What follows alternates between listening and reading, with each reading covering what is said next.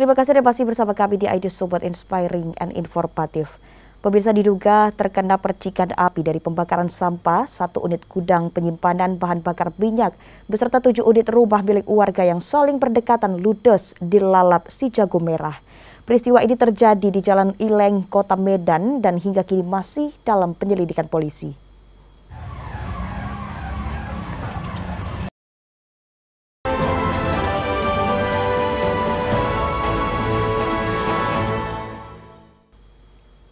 Terima kasih dan masih bersama kami di ID Sobat Inspiring and Informatif.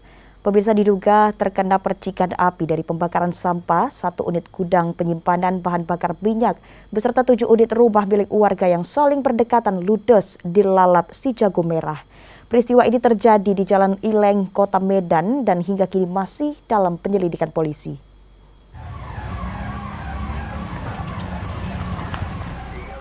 Seorang wanita jatuh pingsan setelah melihat rumah tempat tinggalnya bersama enam unit rumah milik warga lainnya ludes terbakar di Jalan Ileng, Kota Medan.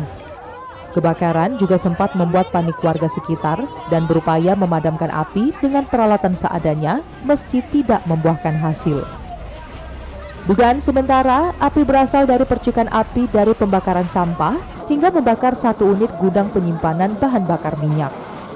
Besarnya kobaran api yang disertai dengan ledakan dari tangki berisi minyak membuat api merembet ke tujuh bangunan rumah milik warga yang berdekatan dengan gudang.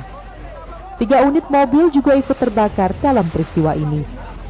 Sebanyak 15 mobil pemadam kebakaran dari Pemko turun ke lokasi untuk menjinakkan si jago merah. Banyaknya material BBM di dalam gudang membuat petugas sempat kesulitan memadamkan api. Api berhasil dipadamkan tiga jam setelah kejadian, setelah petugas menambahkan deterjen ke dalam air. Uh, saat ini sedang pemadaman oleh petugas Dinas Kebakaran Kota Medan, jadi kurang belasan mobil yang turun di lapangan. Dan dari hasil pemantauan di lapangan, ada satu gudang dan beberapa rumah, lebih kurang enam atau tujuh rumah yang mengalami kebakaran dari mulai kerusakan ringan, sedang, dan uh, berat. Berlangsung pemadaman oleh petugas Dinas Kebakaran Kota Medan.